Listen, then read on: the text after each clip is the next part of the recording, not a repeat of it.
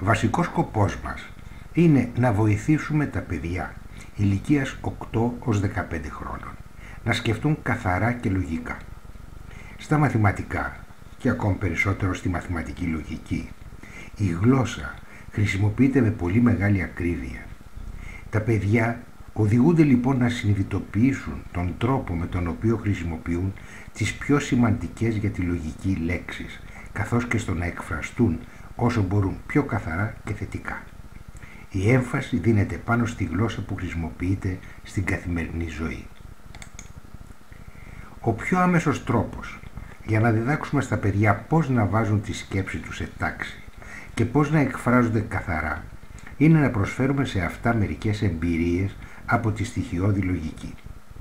Για την ανάπτυξη της λογικής σκέψης υπάρχουν ορισμένες λέξεις κλειδιά όπως όλα, μερικά, κανένα και ή, δεν, αν.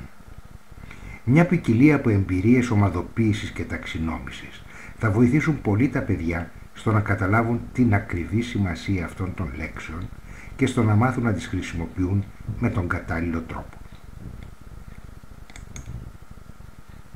Τα ίδια τα παιδιά της τάξης μπορούν να χωριστούν με πολλούς τρόπους.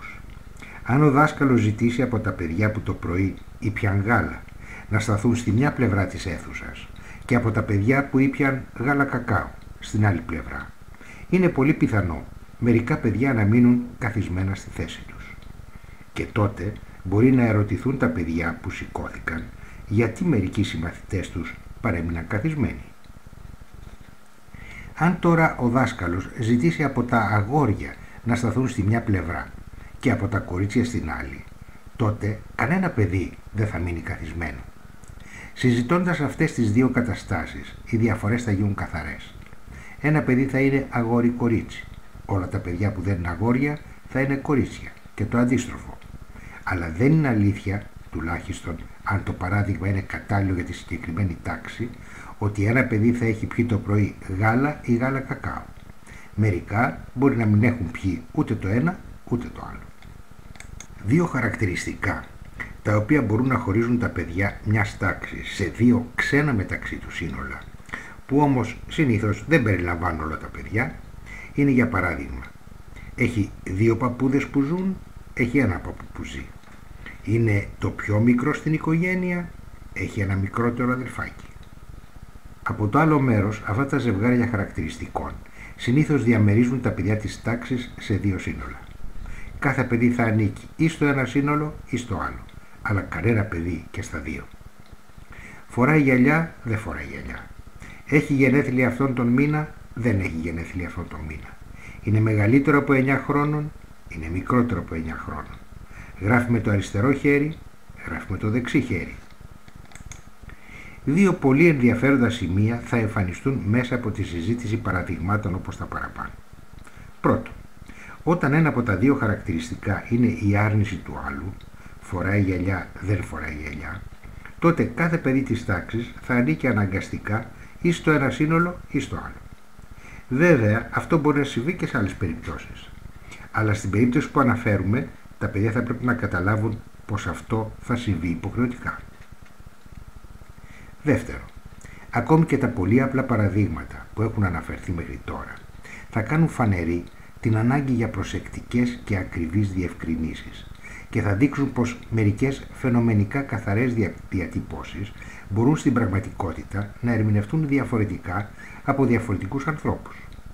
Αν ο Γιάννης έχει δύο μικρότερα αδελφάκια, με κάποια έννοια βέβαια έχει ένα μικρότερο αδελφάκι, αλλά η φράση έχει ένα μικρότερο αδελφάκι σημαίνει έχει τουλάχιστον ένα και ίσως και περισσότερα ή έχει ένα και μόνο ένα. Το πρώτο παράδειγμα που αναφέρθηκε, ήπια το πρωί γάλα, ήπια το πρωί γάλα κακάο, είχε προσεκτικά διατυπωθεί ώστε να αποφύγουμε οποιαδήποτε πιθανότητα αμφιβολίας. Αλλά μετά από αυτό είναι χρήσιμο ο δάσκαλος να μεταχειρίζεται εκφράσεις χωρίς να προσπαθεί να προβλέψει και να αποφύγει όλες τις πιθανές διαφορετικές ερμηνείες, αν και κάτι τέτοιο είναι έτσι κι αλλιώς τις πιο πολλές φορές σχεδόν αδύνατο. Η συζήτηση πάνω στις διαφορετικές ερμηνείες είναι πολύτιμη. Όταν παρουσιαστεί κάποια αμφιβολία για μια έκφραση που χρησιμοποίησε ο δάσκαλος, τα παιδιά θα αντιληφθούν πως ξεπηδά μια σειρά από ερωτήσεις.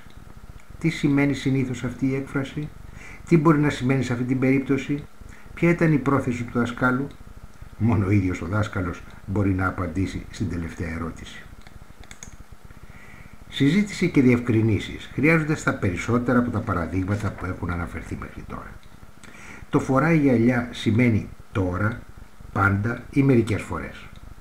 Το γράφει με το αριστερό χέρι σημαίνει είναι ικανό να γράψει με το αριστερό χέρι ή προτιμά να γράφει με το αριστερό χέρι ή πάντα γράφει με το αριστερό χέρι.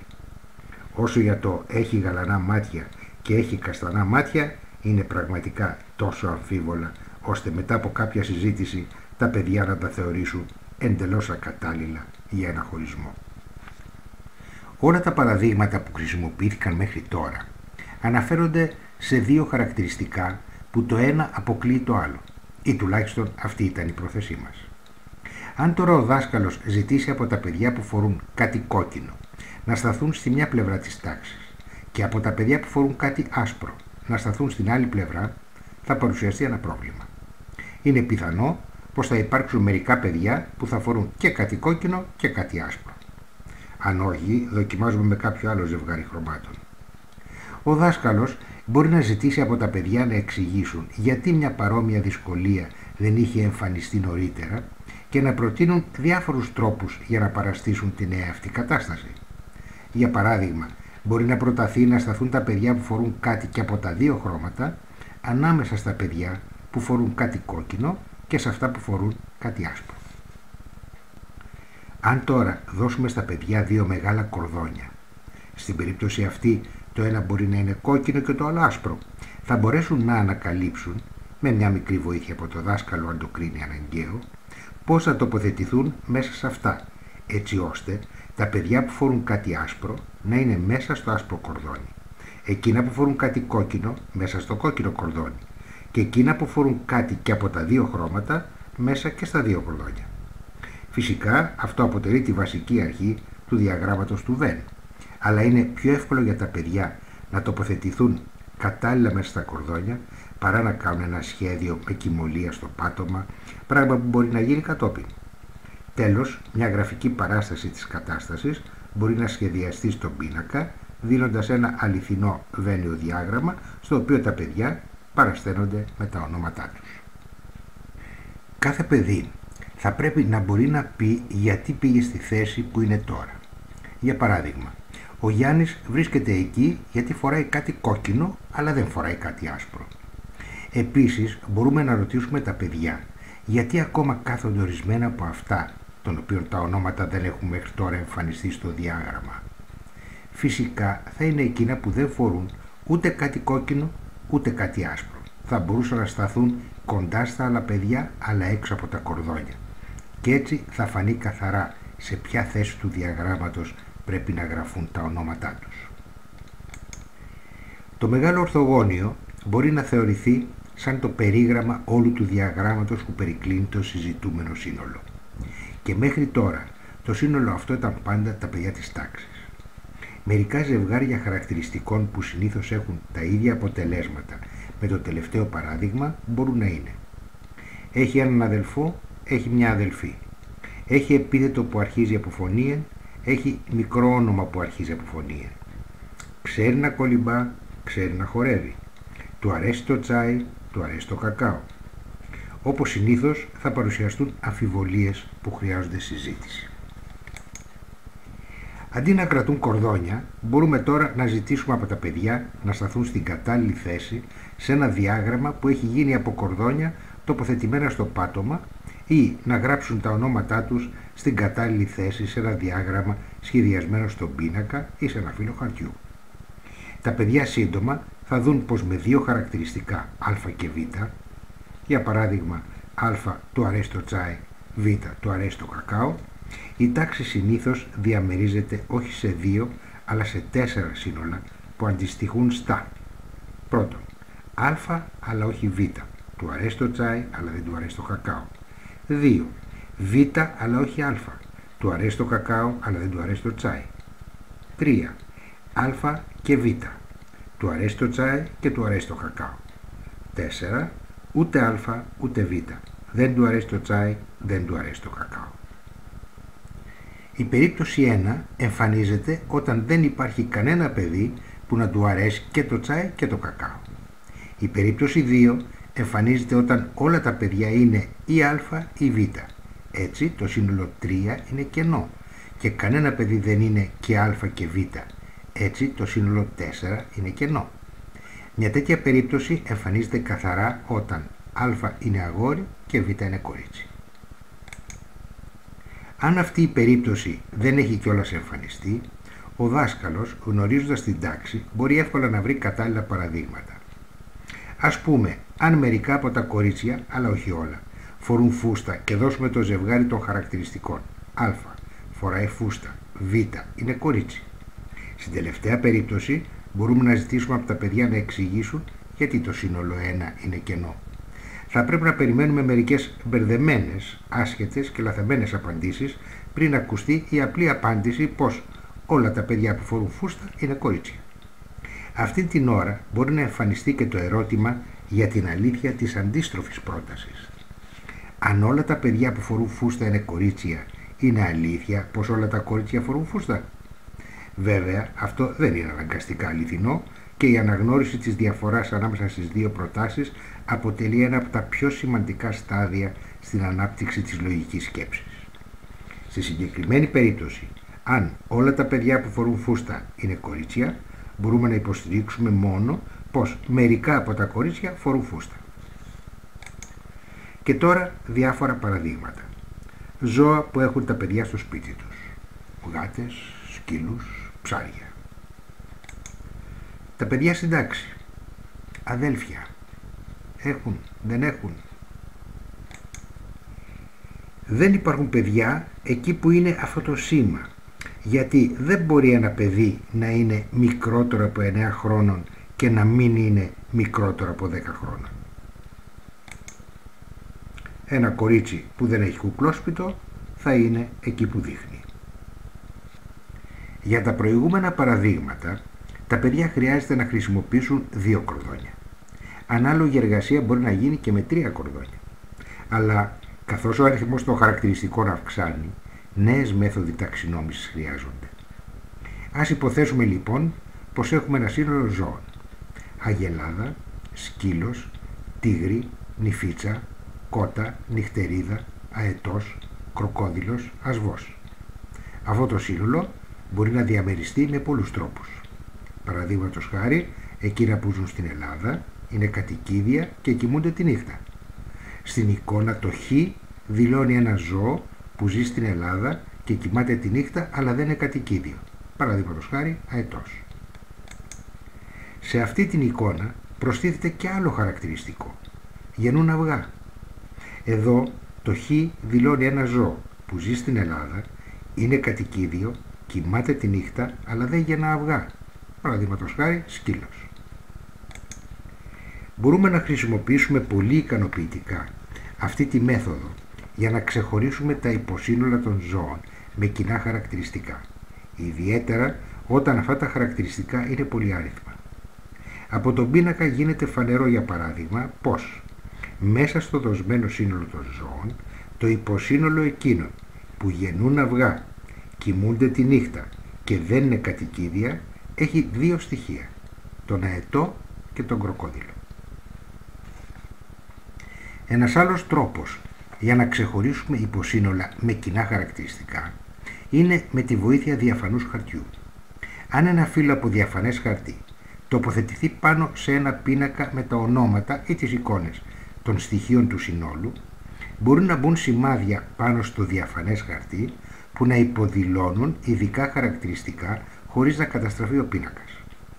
Στο προηγούμενο παράδειγμα, τα 9 ζώα θα μπορούσαν να παρασταθούν σε ένα τετράγωνο πίνακα 3x3. Και αν βάλουμε παραδείγματος χάρη ένα χ πάνω στο διαφανές χαρτί για να δείξουμε ποια ζώα έχουν φτερά και ένα κύκλο για να δείξουμε ποια κοιμούνται τη μέρα, θα φανεί καθαρά πως η νυχτερίδα και μόνο η νυχτερίδα μεταξύ των ζώων του δοσμένου συνόλου έχει φτερά και κοιμάται τη μέρα. έχει μεγάλο μαθηματικό ενδιαφέρον να ασχοληθούν με το διαμερισμό των φυσικών αριθμών. Ανάμεσα στους παράγοντες, οι διαιρέτες ενός φυσικού αριθμού, συνηθίζουμε να περιλαμβάνουμε το 1 και τον ίδιο τον αριθμό. Έτσι, 1, 2, 5, 10 είναι οι παράγοντες του 10. Ένας αριθμός διαιρείται από έναν άλλο αν ο δεύτερος αριθμός είναι παράγοντας του πρώτου. Αν ένας αριθμός διαιρείται από έναν άλλο, ονομάζεται πολλαπλάσιο του δεύτερου. Και έτσι ένας αριθμός είναι πολλαπλάσιο του εαυτού του. Τα πολλαπλάσια ενός αριθμού σχηματίζονται αν πολλαπλασιάσουμε αυτόν τον αριθμό με τους φυσικούς αριθμούς. Για παράδειγμα, πολλαπλάσια του 20 είναι οι αριθμοί 20, 40, 60, 80, 100, 1000 κλπ. Δεν υπάρχει κανένα όριο στο πλήθος των πολλαπλασίων ενός αριθμού, αλλά το πλήθος των παραγόντων του είναι περιορισμένο. Οι πρώτοι αριθμοί έχουν μόνο δύο παράγοντες, τον εαυτό τους και το ένα. Αυτός είναι ένας διαμερισμός με τους αριθμούς 1 ως 50. Οι αριθμοί που διαιρούνται και από το 3 και από το 4 είναι εκείνοι που διαιρούνται από το 12 που είναι ίσο με 3 επί 4. Αυτός είναι ένας διαμερισμός με τους αριθμούς 1 ως 100. Οι αριθμοί που διαιρούνται και από το 6 και από το 8 είναι οι αριθμοί που διαιρούνται με το 24. Γιατί και το 6 και το 8 είναι πολλαπλάσια του 2. Το διαζευτικό «ή» χρειάζεται μια προσεκτική αντιμετώπιση της λέξης «ή» γιατί χρησιμοποιείται με δύο έννοιες. Την έννοια του αποκλείεται και την έννοια του περιέχεται. Αν χρησιμοποιηθεί με την έννοια του αποκλείεται, τότε α ή β σημαίνει ένα και μόνο ένα από τα αβ. Αν χρησιμοποιηθεί με την έννοια του περιέχεται, τότε α ή β σημαίνει τουλάχιστον ένα από τα αβ και ίσως και τα δύο. Στην καθημερινή ομιλία παρουσιάζονται και οι δύο έννοιες, αν και η έννοια του αποκλείεται είναι η πιο συνηθισμένη. Οι προτάσεις αυτές δείχνουν τις δύο χρήσεις του «ή» και τα παιδιά θα μπορούσαν να συζητήσουν αυτά τα παραδείγματα ή άλλα παρόμοια. Είναι φανερό πως η λέξη «ή» χρησιμοποιείται με την έννοια του αποκλείεται σίγουρα στην πρώτη και μάλλον στη δεύτερη πρόταση. Αυτός που λέει την τρίτη πρόταση είναι πιθανόν να σκέφτεται το «ή» με την έννοια του αποκλείεται, αλλά αν το καλοσκεφτεί θα δεχτεί την έννοια του περιέχεται. Στην τέταρτη πρόταση το «ή» μπορεί να χρησιμοποιείται είτε με την έννοια του αποκλείεται είτε με την έννοια του περιέχεται ανάλογα με τα συμφραζόμενα. Στην πέμπτη δεν υπάρχει κανένα πρόβλημα αφού ένα κομμάτι δεν μπορεί να είναι και τετράγωνο και τριγωνικό. Στην καθημερινή ομιλία οι αμφιβολίες έρονται με τη γνώση των συμφραζομένων ή με τον τόνο της φωνής ή με την προσθήκη άλλων λέξεων. Στην πρόταση 2 μπορεί να μην ενδιέφερε καθόλου η έννοια του «ή», αλλά αν ήταν σημαντικό να έχει την έννοια του «περιέχεται», θα μπορούσε να προσθεθεί η φράση «ή» και με τα δύο. Και αν ήταν σημαντικό να έχει την έννοια του «αποκλείεται», η πληροφορία θα μπορούσε να δοθεί με κάποια πρόταση όπως «Μπορείς να πας μόνο με το τρένο ή μόνο με το λεωφορείο, αλλά δεν μπορείς να συνδυάσεις ένα ταξίδι με τρένο και λεωφορείο». Τα συμφραζόμενα θα μπορούσαν να διώξουν τις αφιβολίες για τη σημασία της τέταρτης πρότασης. Αλλιώς θα λέγαμε μπορείς ή να κολυμπήσεις ή να παίξεις ποδόσφαιρο αλλά όχι και τα δύο. Ή μπορείς να κολυμπήσεις και να παίξεις ποδόσφαιρο. Η τελευταία φράση σημαίνει πως μπορείς να κάνεις είτε και τα δύο είτε μόνο το ένα. Τέλος, το «ή» μπορεί να χρησιμοποιηθεί σε συνδυασμό με ερωτήσεις. Η ερώτηση «θέλεις τσάι ή καφέ» περιμένει συνήθως για απάντηση τσάι καφέ ή ίσως και τα δύο. Αλλά μπορεί επίσης να περιμένεις σαν απάντηση ένα ναι ή ένα όχι. Είναι μια πολύ χρήσιμη άσκηση για τα παιδιά να φτιάχνουν δικές τους προτάσεις που να περιέχουν τη λέξη «ή», να βλέπουν πώς οι άλλοι τις αντιλαμβάνονται και να τις διορθώνουν αν υπάρχει κάποια αμφιβολία. Σε αυτό το στάδιο είναι προτιμότερο για τα παιδιά να αποσαφηνίζουν το νόημα που θέλουν να δώσουν με την προσθήκη φράσεων όπως «ή και τα δύο» αλλά όχι και τα δύο, παρά να υιοθετήσουν μια πάγια έννοια της λέξης «ή». Μολονότι σε ένα κατοπινό στάδιο στα μαθηματικά, θα μάθουν να δίνουν πάντα στο «ή» την έννοια του περιέχεται. Λογικός συλλογισμός είναι μια λογική διαδικασία με την οποία ξεκινώντας από μία ή περισσότερες αρχικές προτάσεις που ονομάζονται υποθέσεις οδηγούμαστε σε ένα ή περισσότερα συμπεράσματα. Η ορθότητα του συλλογισμού είναι εντελώς ανεξάρτητη από το αν οι υποθέσεις είναι στην πραγματικότητα σωστές ή όχι. Αν είναι σωστές, ο συλλογισμός οδηγεί φυσικά σε ένα σωστό συμπέρασμα. Συνήθως βέβαια ξεκινούμε από υποθέσεις που τουλάχιστον πιστεύουμε πως είναι σωστές. Αρκετά συχνά όμως αρχίζουμε και με υποθέσεις που δεν ξέρουμε αν είναι σωστές και διερευνούμε τις συνέπειες της πιθανής ορθότητάς τους. Φυσικά, τα παιδιά πολύ αργότερα θα προσεγγίσουν αυτή τη γενική θεώρηση. Σε αυτό το στάδιο ενδιαφερόμαστε μόνο να βοηθήσουμε στην ανάπτυξη της λογικής σκέψης των παιδιών. Αλλά οι δάσκαλοι θα πρέπει πάντα να θυμούνται αυτή τη διάκριση ανάμεσα στην ορθότητα του συλλογισμού και στην αλήθεια των συμπερασμάτων. Ένα κοινό χαρακτηριστικό των προβλημάτων που παρουσιάζονται παρακάτω είναι πως οι συλλογισμοί στηρίζονται σε πληροφορίες που δίνονται στο παιδί και όχι σε πραγματικά δεδομένα που τα έχει ανακαλύψει μόνο του. Αυτό όμως αποτελεί ένα βασικό στάδιο στην καλλιέργεια της σκέψης του παιδιού. Στα προβλήματα που ακολουθούν όπως και σε όλη τη μέχρι τώρα εργασία παρατηρούν πως οι λέξεις και, ή, δεν, μερικά, όλα, κανένα έχουν πρωταρχική σημασία και μερικές φορές απαιτούν ιδιαίτερη συζήτηση. Ο Μιχάλης λέει πως τα γενέθλια του Τάκη είναι στις 23 ή στις 24 Ιουλίου. Η Κέτη λέει πως τα γενέθλια του Τάκη είναι στις 22 ή στις 23 Ιουλίου.